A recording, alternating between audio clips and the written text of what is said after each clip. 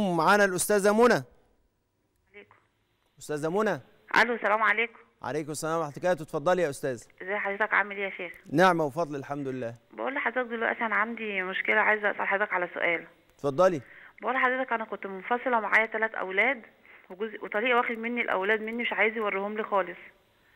ليه؟ هم سنهم كام؟ هما خمس سنين و10 و15 طب وكل ما بطلب ان أنا أشوفهم طب ما إيه؟ هم في سن الحضانة كده دول. ما أنا أنا أنا تزوجت بقالي شهر حضرتك دلوقتي. من قبل ما أتزوج وأنا مش عارفة أشوفهم. طيب من قبل ما تتزوجي ما ينفعش إن أنت قبل ما تتزوجي ما تعرفيش تشوفهم. إيه، واضح إن أنت من الأول خالص سبتهم له. لا هو كانوا كانوا بيني وبينه يا شيخ. بعد كده هو أخد العيال أجي أكلمهم. بقى يكلمهم عني كلام مش كويس. العيال بقى يت- يتصلوا بيا يشتموني في التليفون ويسيبوني بالله. وكده. فأنا حضرتك أنا دلوقتي هم دول عليهم عقوق والدين. لا الأولاد دلوقتي دول مش في زمن التكليف لكن الأصل إن الأولاد دول هو بيفسد تربيتهم. آه كده بيفسد تربيتهم. وأنا كده عليا يا شيخ قطع الرحم. أنا مش عارفة أوصل لهم. كل ما أوصل لهم لا اوعي تقفي. بصي اوعي تقفي من إنك انت توصلي لهم بأي طريقة. ابعتي لهم رسائل ابعتي لهم مع حد. اوعي أولادك يحسوا في يوم من الأيام إن هم بقوا رخاص عندك وإن هم خلاص بدل عملوا كده خلاص مش. مش هسأل فيهم.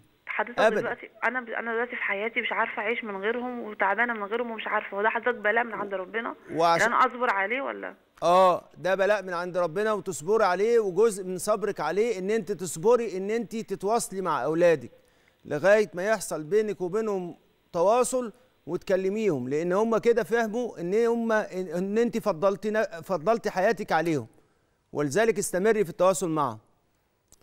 واضح؟ خليكي مستمرة في التواصل معهم وما تسيبهمش ابدا. دول ما يتعاقبوش ده لسه أطفال. في زمن التربية اوعى تقطعيهم معانا السيدة أم عبده؟ السلام عليكم. عليكم السلام ورحمة الله. اتفضلي. معلش يا حضرة الشيخ أنا يعني سؤالي أنا اللي كنت بقرأ في القرآن كل يوم جزء. طيب. فأنا طب دلوقتي ما دي يعني بركه بقى- الحمد لله ونعمة. فأنا دلوقتي بقى حابة إن أنا أحفظ. طيب. وبديت إن أنا بحفظ طيب. فأنا مش عارفة إني أو آه، الوقت بتاعي إن أنا أحفظ وأقرأ في نفس الوقت. أعمل لك أقول لك حاجة سهلة وورد فيها الأثر وتساعدنا في ده. إيه هي؟ احفظي خمسة خمسة. روي في الأ... روي روي عن حضرة النبي صلى الله عليه وسلم بأنه من حفظ خمسا خمسة لم ينسى. فاحفظي خمس آيات خمس آيات. واستمري في ده. وإن شاء الله ربنا يبارك لك إن شاء الله وتتممي حفظ معانا السيد أحمد عليكم. أستاذ أحمد أحمد معانا. اتفضل يا أستاذ أحمد من فضلك بس في المؤخر بتاع الزوجة لما أنا بقالنا متجوزين بقى لنا أكتر من 50 سنة بتقول لي أنا عايزه المؤخر والفايدة بتاعته هل المؤخر له فايدة؟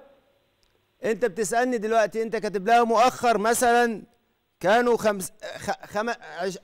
ألف جنيه ودلوقتي آه. الفلوس غلت هو المؤخر المكتوب دوت هو ده حقها أما مراعاة غلاء الأسعار ورخص الأسعار آه من من من من من المروءة مراعاة غلاء الأسعار ورخصها من المروءة إن أنت تراعي ده وتراعي دوت غلاء الأسعار والرخص أمال إيه؟ حضرتك بتقول إيه دلوقتي؟ هي بتقول هي بتطالبك بإيه؟ بتقول بتقول لك أنت زوجي أنت لسه أزواج ولا مش لسه أزواج يا أستاذ أحمد؟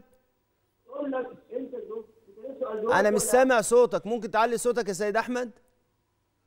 أنا مش سامع صوتك.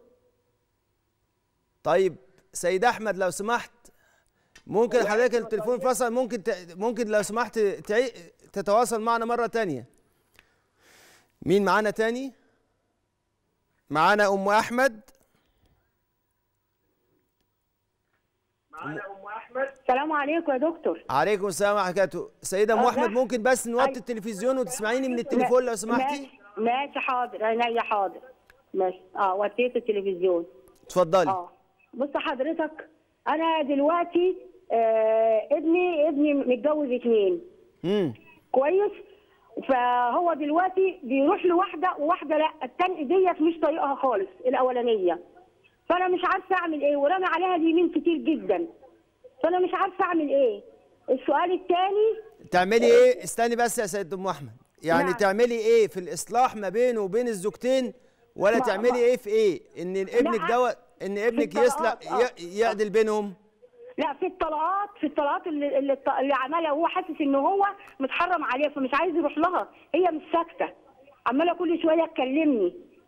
طيب أقول لك أقول لك؟ أقول لك تعملي إيه السؤال أيوة. الثاني السؤال الثاني السؤال الثاني حضرتك إن أنا دلوقتي أنا أنا منفصلة عن أبوهم بقالي 22 سنة. انفصال يعني طلاق طلاق رسمي ولا إيه؟ أيوه لا لا مش طلاق بقالي 22 سنة من أبوهم خلاص. طيب. بس دلوقتي هو كان تعبان من حوالي أسبوعين كده. فكلمهم وقال لهم تعالوا أنا تعبان مراتي يعني كلمته وقالت لهم تعالوا يا أولاد أبوكم تعبان وتعالوا شوفوه. طيب. فأنا فأنا بصراحة من يعني عشان العشرة وكده فرحت معاهم وشفته يعني واطمنت عليه. هل أنا كده عملت خطأ؟ ده أنت عملت ثواب عظيم وربنا يجعله في ميزان حسناتك وعدتي يكرمك. راجل مريض. وإن شاء أيوة. الله سبحانه وتعالى أنت لو كنت رحت لما رحت هناك دعيتي دعوة ده في أيوة. مواطن الدعاء المستجاب اللي أنت لما تروح عند المريض. فلذلك إيه اللي حاصل؟ اللي أنت عملتيه ده حلال وما فيهوش أي مشكلة. السؤال الأولاني بقى تعملي إيه أنت بقى في مسألة الطلاقات؟ ولا حاجة خليهم يتصلوا بدار الإفتاء المصرية ب 107 أو يتصلوا بعد ال- بعد البرنامج عشان نشوف هو في طلاق ولا لأ. أنت شايف هو شايف إن هو طلقها أرجوكم ما تفتوش نفسكم في الطلاق لأن كتير من الاحيان الناس بتشوف نفسها إن هي طلقت وما يكونش الطلاق وقع والعكس صحيح. فلا بد إن أنت تسألوا عشان ده يوصلكم إلى الحكم الش- الشرعي الصحيح. أم محمود تتفضل أيوه زي حضرتك. بص نعم أنا- وفضل الحمد لله. أنا متجوزة بقالي خمس سنين. امم آه، جوزي كنت قعدت ثلاث سنين ما خلفتش. نعم. وجوزي كان بيبيع في العفش حاجة ورا حاجة. أروح الشغل اشتغلت عشان أصرف على البيت عشان هو مش عايز يطلع يشتغل. أروح الشغل عقبال ما أروح أرجع الاقيه بايع حاجات من حاجتي. لا حول ولا كان قوة بالله عندي أربع عوض وشقة باع كله. آخر حاجة فضل أوضة أوضة نوم. وقعدنا في شقة ايجار حديث. طلعت الشغل وبقيت معاه. وأنا حامل كنت آه، في محمود. وبعد كده ما قعدتش غير قبل ولادتي بأسبوع.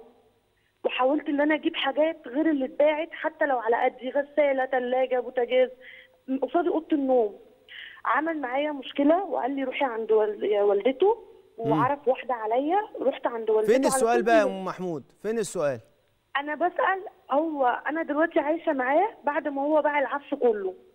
وباع الحاجة. وقاعدين دلوقتي على سرير وتلفزيون ما عندناش أي حاجة. هل كده دوت ابتلاء من عند ربنا وربنا إن شاء الله هيعوض صبري خير في ابني ولا طب- إيه حضرتك طيب اللي أنت فيه دوت ابتلاء؟ آه ابتلاء. واللي أنت فيه دوت نوع من أنواع لو ص... الكلام اللي أنت بتقوليه ده وكلام لزوجك اللي أنت بتعمله ده إذا كنت أنت شخص المال ده مش مالك والعفش ده عفشها وأنت بعته من غير إذنها فأنت ظلمته واكلت مالها فاتق الله سبحانه وتعالى في مالها. لأن المال ده لو كان جزء من مهرها بأن أهلها اللي جابوه وهو مكتوب باسمها أو معاها فواتير يبقى أنت كده خلاص أكلت حقها فاتق الله سبحانه وتعالى فيها.